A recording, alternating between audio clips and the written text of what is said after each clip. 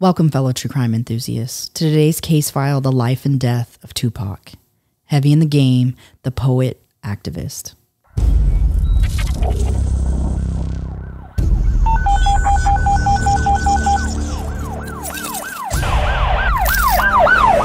Seventy-five-year-old male, 211 Silver Hollow Road, between Lane Road and Cross Patch Road. Welcome to Body of Crime, your go to true crime podcast, where we plunge headfirst into the gripping world of criminal mysteries. Join your hosts, Jose Medina, Crystal Garcia, and Alicia Anaya, as we deliver the full stories, immersing you in the heart of each case. With spine chilling cases, in depth analysis, captivating interviews, and a comprehensive examination of the evidence, embark on a thrilling journey with us as we explore bone chilling cases from around the globe. Whether you're a seasoned true crime enthusiast or a fresh face in the genre, we guarantee to keep you on the edge of your seat. So put on your detective hat, grab your notepad, and get ready to dive into the thrilling world of Body of Crime.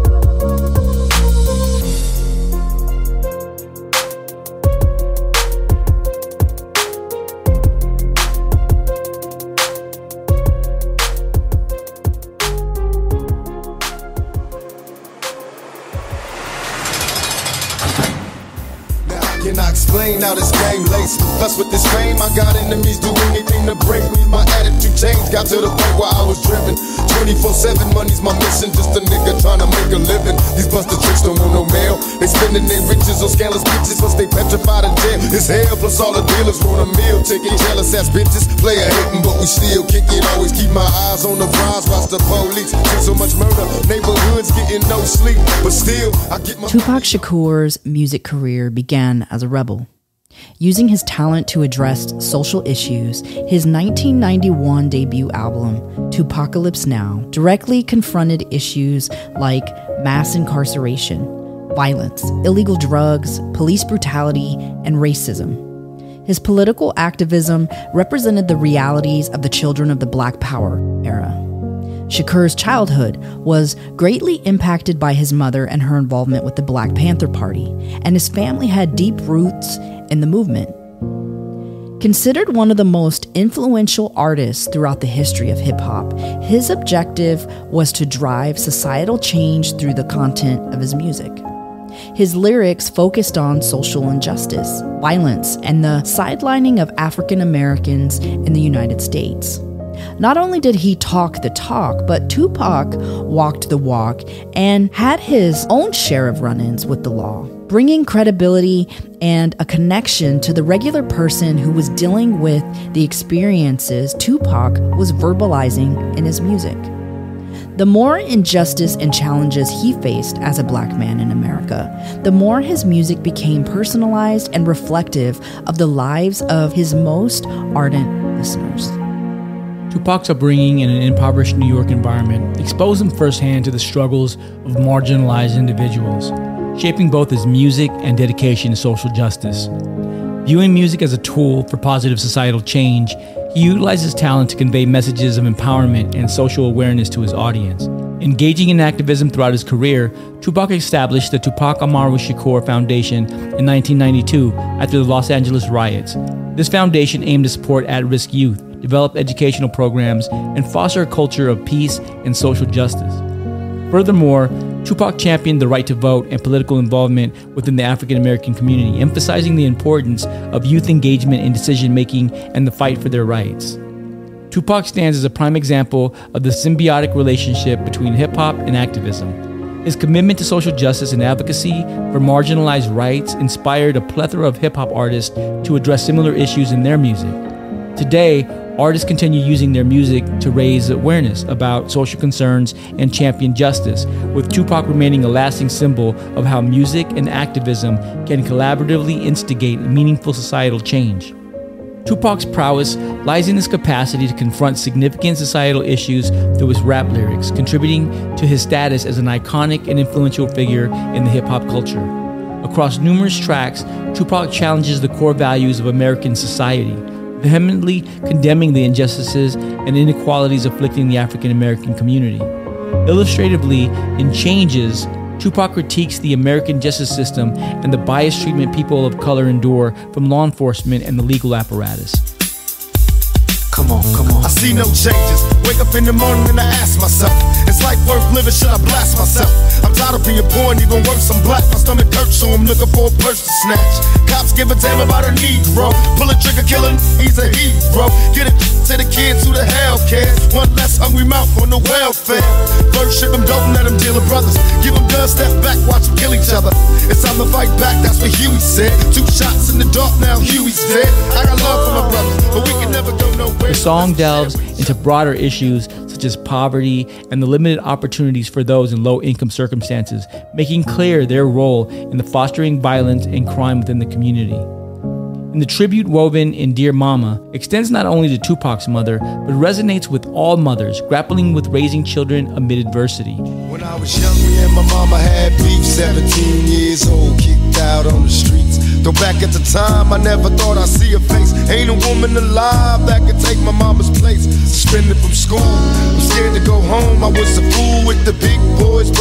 All the rules. Shed tears with my baby sister. Over the years, we was poor than other little kids. And even though we had different daddies, the same drama when things went wrong, we blame mama. The song sheds light on the hardships confronted by single mothers, underscoring the societal lack of support. Simultaneously, it celebrates the unwavering love and dedication these mothers exhibit, serving as wellsprings of strength and resilience during challenging times. Tackling racism, economic disparities, and violence, Tupac utilizes his art to spotlight these concerns, aiming to kindle awareness and motivate individuals to instigate societal change. His rap lyrics stand as a testament to his unwavering commitment to social justice, embodying his aspiration to leverage music as a catalyst for positive and societal transformation.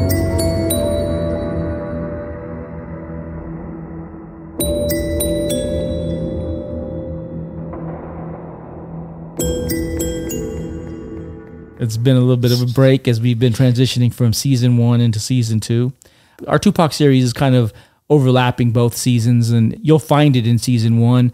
But you know, we're in, now in January 2024, and it's funny because Tupac passed away almost 30 years ago, and we're still talking. He's still an influence in our culture, in our society, in the music that you hear every single day.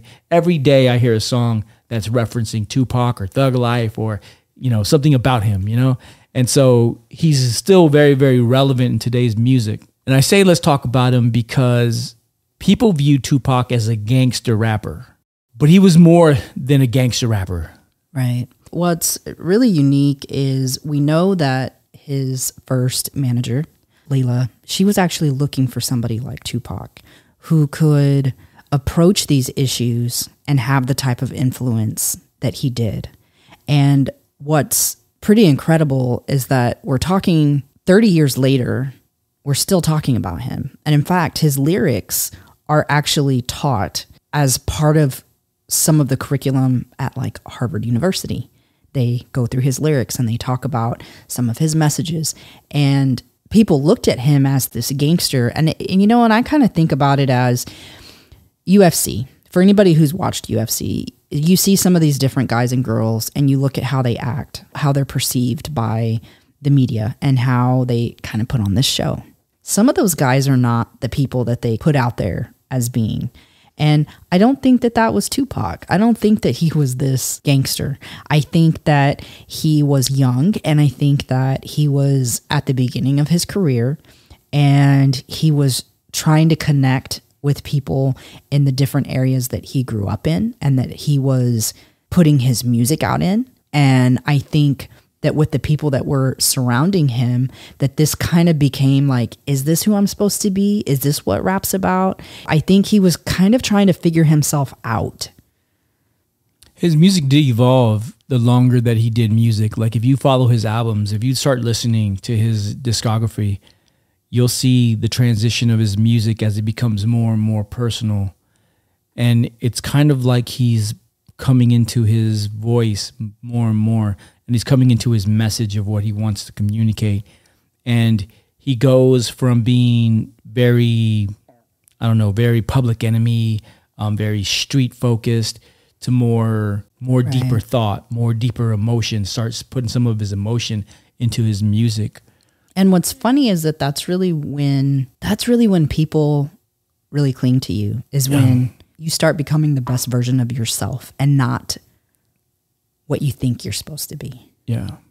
And there's two things here. 30 years ago, what Tupac was talking about 30 years ago is still relevant 30 years later. That's really sad that we're still dealing with police brutality. We're still dealing with marginalized society, um, with poverty. We're still dealing with all the same issues. And that's why his music is still so relevant because everything that he talked about 30 years ago is still being dealt with today. We still have single mothers who are dealing with welfare, who are, you know, unable to raise their families and don't have enough money. Nothing has really changed in 30 years. Nothing has changed. And then the other thing that I was going to say, his portrayal of Bishop in the movie Juice gave the world their first introduction of who Tupac was.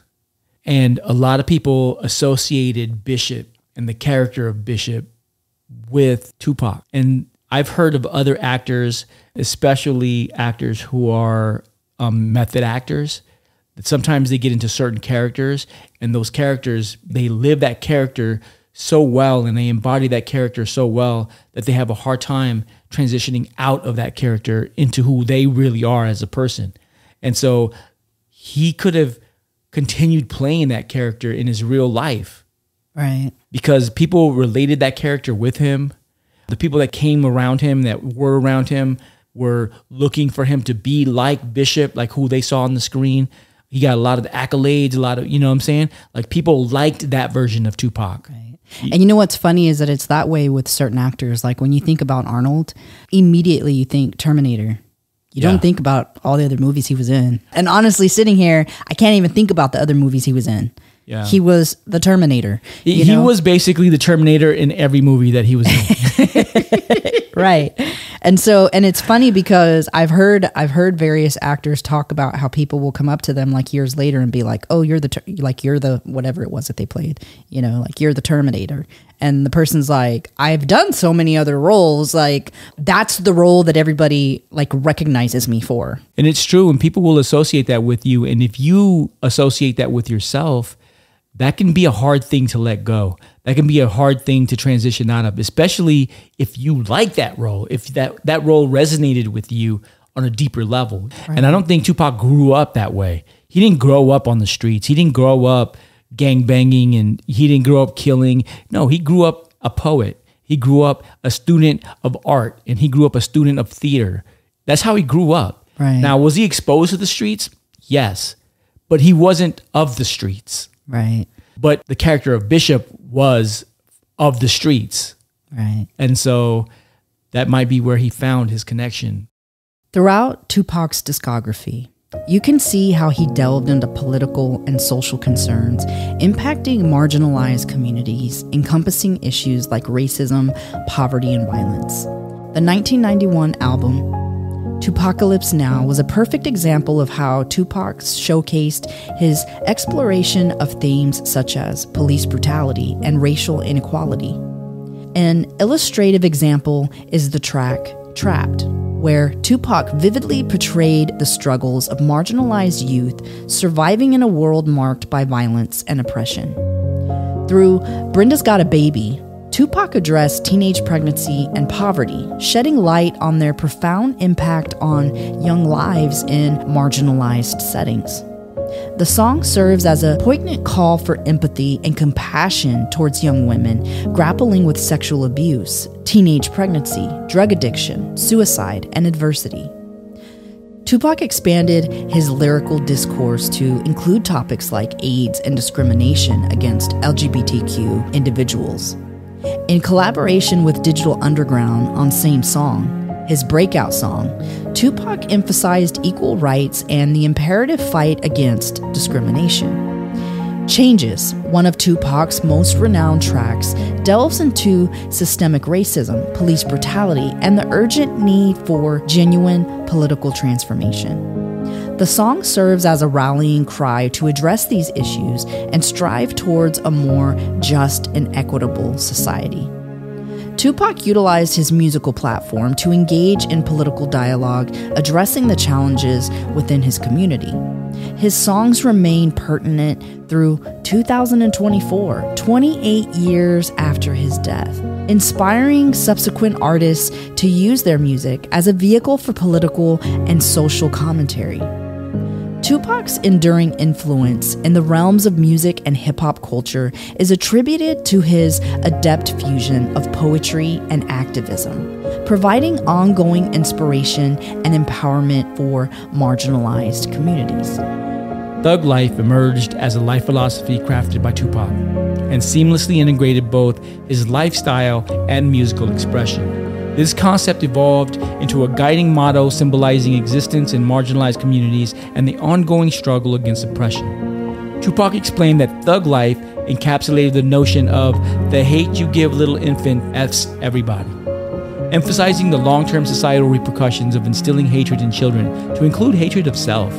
For him, addressing systemic issues like violence and poverty was imperative for meaningful transformation. Positioning himself as a champion against oppression and injustice, Tupac utilizes music as a powerful medium to voice discontent with the system and advocate for tangible change. And only God can judge me, he delves into the challenges of life in marginalized neighborhoods and underscores the importance of embracing the values inherent in thug life with lyrics like Perhaps I was blind to the facts. Stabbed in the back, I couldn't trust my own. Of dirty rats. Will I succeed? Paranoid from the weed. And hocus pocus, try to focus, but I can't see. And in my mind, I'm a blind man doing time. Look to my future, cause my past is all behind me. Is it a crime to fight for what is mine? Everybody's done. Tell me what's the use in trying? I've been trapped since birth. Cautious, cause I'm cursed. And fantasies of my family in the. And they say it's the white man I should fear. But it's my own kind doing all the killing here.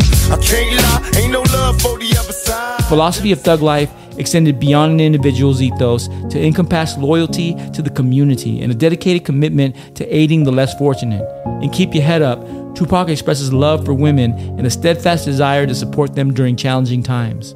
Through his music, Tupac became a messenger of thug life, advocating for social change. His philosophy resonated with numerous young individuals engaged in the fight against oppression and inequality, evolving into a source of empowerment for those experiencing marginalization. Tupac defined a thug as an individual emerging from an oppressive and disadvantaged background, employing unconventional methods to succeed in American society. He attributed the many challenges faced by African Americans and marginalized groups to what he identified as thug life philosophy the intertwining of hate with ethnic, cultural, and gender discrimination that often hinder the appreciation of diversity and inclusion.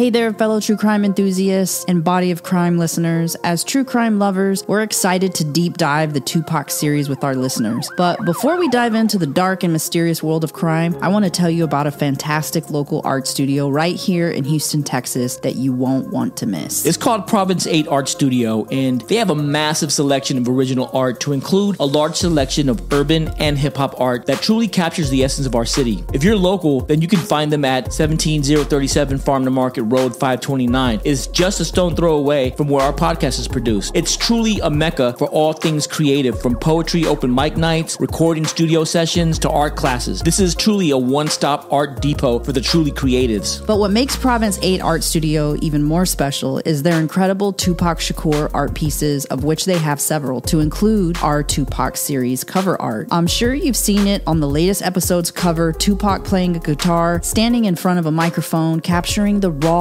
energy of his music and spirit. This is an original six foot by four foot canvas piece by Ezra Hezekiah for sale, and it can be purchased and shipped worldwide. They ship worldwide? They do. Even six foot pieces like jamming out Tupac? They do. Bigger ones than that. And by going directly to the artist's webpage at www.blackrhinoartgroup.com, you can pick and choose the material, the size, and even the format of your choosing if you're not ready to splurge on the original. You can even get special edition prints, original paintings, digital art. There's so many options. And if you're a decorator like me, you might want to throw in some throw pillows, you might want to get you an ashtray, might even want to get you some swag. The attention to detail and the way they bring Tupac to life through art is truly remarkable. It's a must see for any Tupac fan or anyone who really truly appreciates the fusion of art and hip hop culture. So, listeners, do yourself a favor and check out Province 8 Art Studio. Visit their website at www.province8artstudio.com or pay them a visit in person. You'll be blown away by their urban and hip hop art collection and, of course, that incredible Tupac Shakur piece. Support local artists and immerse yourself in a world of art inspired by the legends of hip hop. Province 8 Art Studio is where creativity meets culture. Tell them Joe or Crystal from Body of Crime sent you. We'll post a link in the show notes.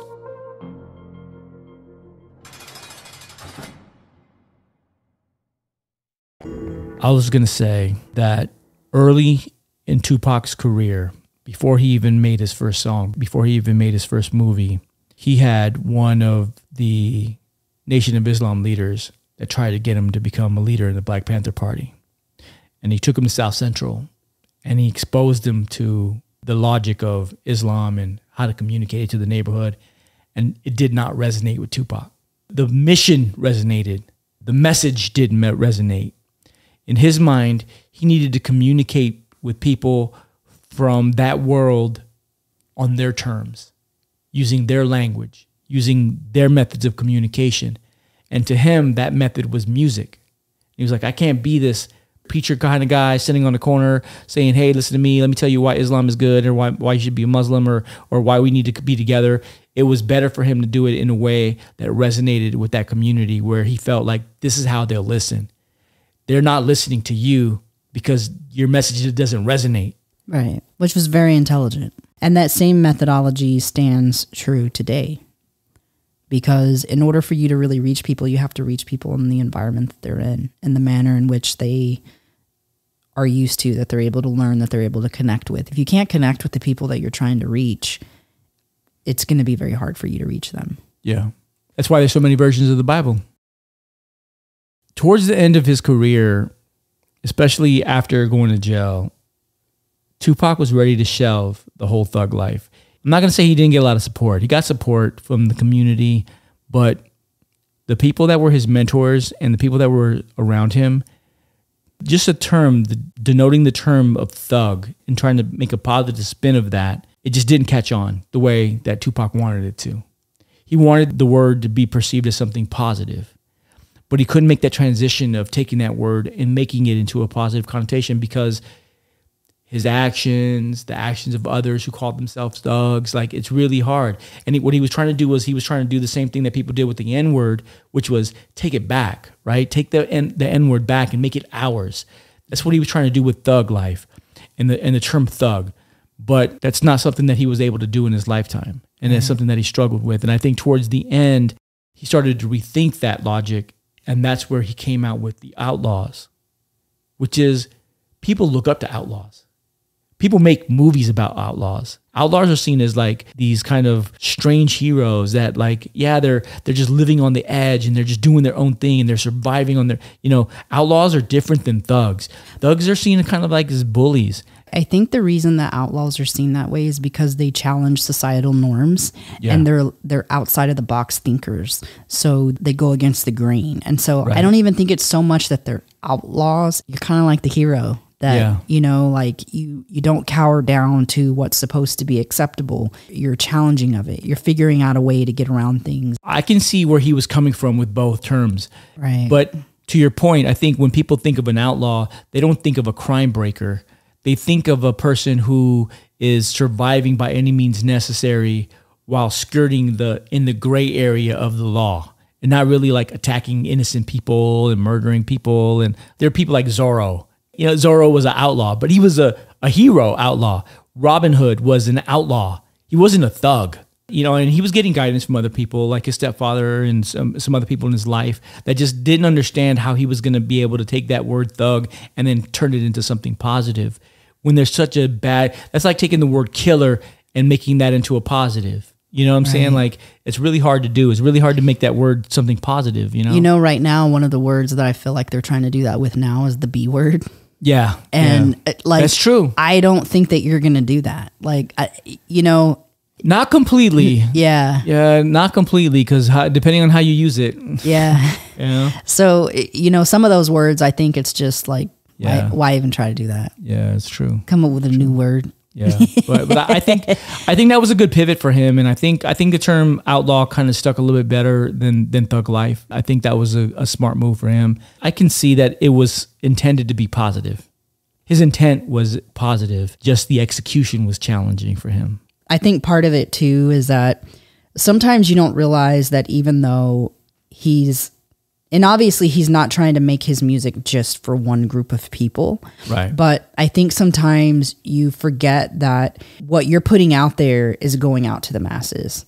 And even though you might be trying to send a message or tell a message about a certain group, it's going out to people who are going to hear it and are going to perceive it in different ways. And so sometimes your message it needs to be given in a way that other people can understand as well. Not that they need to accept it, but understand it, you know. Right, right. Tupac felt like he was the voice of a group of people, and those people were often seen to the world as thugs.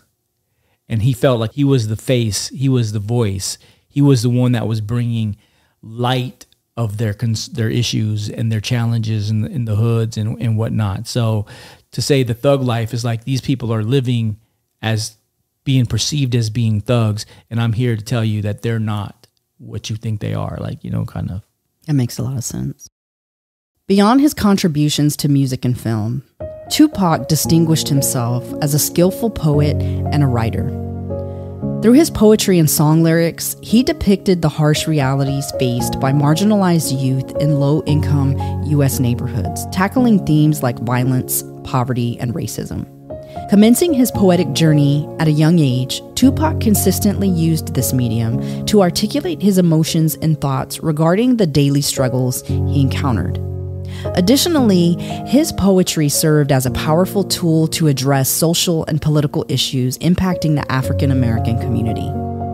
Tupac's lyrics are often profound and poignant, offering a distinctive perspective on life in marginalized U.S. neighborhoods. Tracks like Dear Mama and Keep Your Head Up emphasize the significance of family, community, and the resilience needed to overcome adversity. In compositions like Brenda's Got a Baby, he delves into darker subjects such as poverty, abuse, and sexual violence. The song narrates the plight of a young teenage girl facing pregnancy and isolation, evoking a touching and emotional portrayal of life in marginalized U.S. neighborhoods. Expanding his literary footprint, Tupac ventured into publishing with the poetry book The Rose That Grew from Concrete. This compilation, featuring poems written between 1989 and 1991, unveils an intimate glimpse into Tupac's creative mind, showcasing his prowess as both a writer and poet, and include poems such as Things That Make My Heart Break, which goes, Pretty Smiles, Deceiving Laughs, and People Who Dream with Their Eyes Open. Lonely children, unanswered cries, and souls who have given up hoping. The other thing that breaks hearts are fairy tales that never come true and selfish people who lie to me. Selfish people just like you. Tupac's music stands out not just for its social and political depth, but also for its opulent poetic elegance. Within his lyrics, Tupac skillfully employs diverse literary devices and rhetorical techniques, crafting vibrant and evocative imagery that deeply connects with his audience. His mastery of metaphors can be seen as a recurring poetic tool that Tupac appears to wield effortlessly. For instance, in Ambitionz Az a Ridah, he likens his life to a roller coaster, vividly portraying the emotional highs and lows and the challenges encountered throughout his career. So many battlefield scars while driven in plus cars. This life is a rap star. It's nothing without God. Was born rough and rugged. The public. My attitude was it. These motherfuckers love is to be a soldier. Composure at ease, though life is complicated. Only what you make it to be. And my as a rider, the hot and go up inside her. Then I spit some game in the ear, go to the telly ho. We put with money in the bin, cause bitch I'm belly broke. I'm smoking bomb ass weed, feeling crucial. From player to player, the gangsta. Repetition is another technique he employs, notably in Keep Your Head Up, where the refrain, Keep Your Head Up, echoes to empower women, encouraging strength and resilience. Tupac weaves a tapestry of rhythm and melody using alliteration, assonance, and rhyme. In Hail Mary, he combines alliteration and rhyme to compose a captivating chorus. Hail Mary, run quick, see what do we have here now?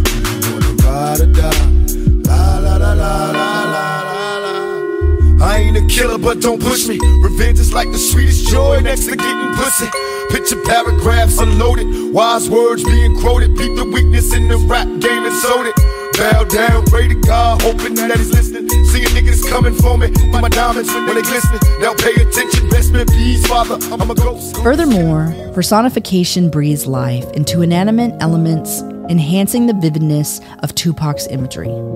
In Life Goes On, he personifies death, portraying it as a close companion. How many brothers fell victim to the street? Rest in peace, young nigga. There's a heaven for you. Be alive if I told you that I never thought of death. My niggas, we the last ones left. But life goes on. How many brothers fell victim to the street? Rest in peace, young nigga. There's a heaven for you. Be alive if I told you that I never thought of death. My niggas, we the last ones left. Life goes on. I bail through the empty halls, breath stinking in my drawers. Ring, ring, ring. Quiet His music, in essence, not only poetic, but profound and reflective of the Black experience.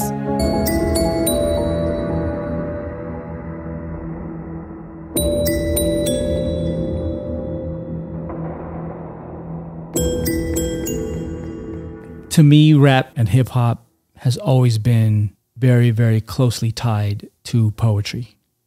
Definitely. One thing that I think is very unique about him. So, if you have the opportunity and you honestly, if you Google, there's some things on Pinterest where they show some of his love letters and um, some of his poems that he didn't, you know, make into music lyrics.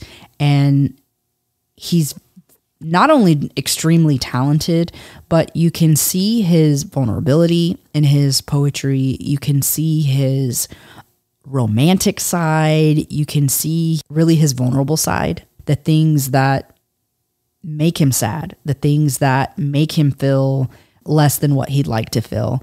And I think that's beautiful. And I think he's one of the few hip hop artists that can really kind of you look at R&B and people kind of think of R&B as being more of the kind of romancing and beautiful and like love music and not really so much hip hop and rap and especially not gangster rap.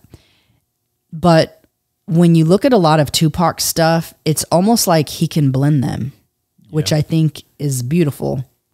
He was one of the first to actually begin blending R and B type music with rap. He was one of the first ones to do that, and a lot of people picked that up, and and that's kind of the sound today. Yeah. So I think it's I, I think it's pretty unique. So he to, to me he's somebody who really really changed the game in so many different ways.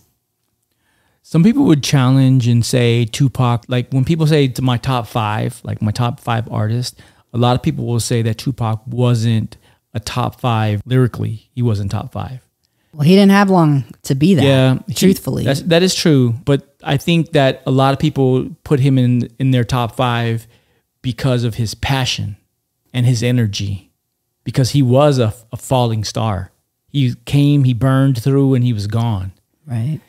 I would say like his whole career spanned probably maybe five or six years. But you know, if you look at his trajectory, he would have been that. So for those who who don't see him that way, he would have been that if you just look at his trajectory. Yeah. So he hadn't fully come into his own yet. He was getting there, but he hadn't fully gotten there yet. So you're seeing him at a point where he's rising and he really isn't at the top of his game at that point. Right. You know, I think that's hard. That's hard to imagine because he's been such a staple when it comes to hip hop and rap music, and he's had so many movies and and songs that have come out posthumously. That sometimes you think like he's still here writing this stuff, like you know he's still here acting like. And so I think that is sometimes you. I think you're right. You're hit the you hit the nail on the head. I think he would have just only gotten better. He'd only been practicing his his skill set for five years. You have guys that are currently like Snoop Dogg, and you got Jay Z, and you got these guys who have been doing this for years and years, and they've been doing it for like 20, 30 years. Right. Tupac did this for five, six years and had a lasting impact, a forever impact. Right. So yeah, I, I agree with you. I think he would have gotten to that point at some point. And you know, there's there's some I think really key things where I feel like he really, to me, where I feel like he really changed the game, and that is, at, first of all, at this point in time, gangster rap, which I really don't even like to put him in that category, honestly, but it was just getting started. Yeah. So he was at the beginning of that.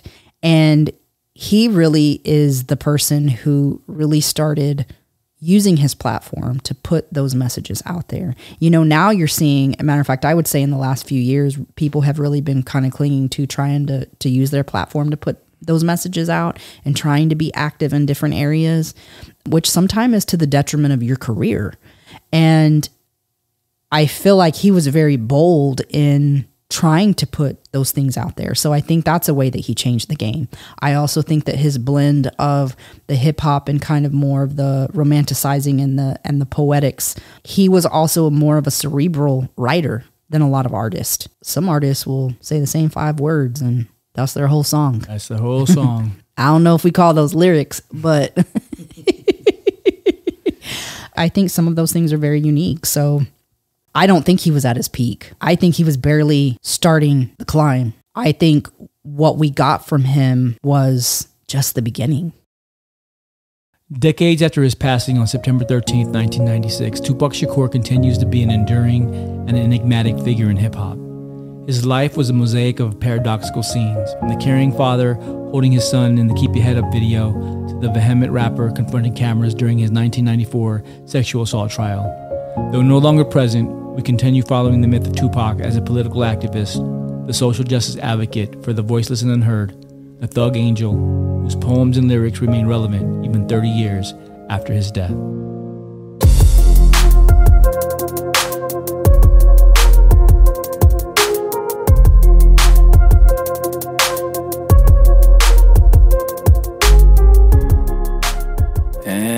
And that's a wrap on today's investigation, fellow detectives.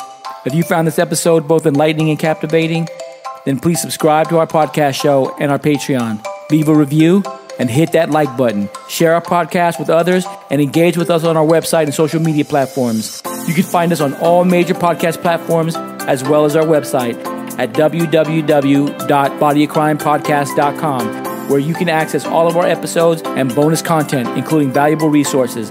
By expanding our community, we believe we can make a greater impact in our pursuit of truth and in shedding light on crucial cases. If there's a case that you'd like for us to cover or a personal story you'd like to share, please don't hesitate and contact us through our website. We always welcome your feedback and suggestions. Until next time, stay sharp and thank you for tuning in to the Body of Crime podcast. Podcast. Bye.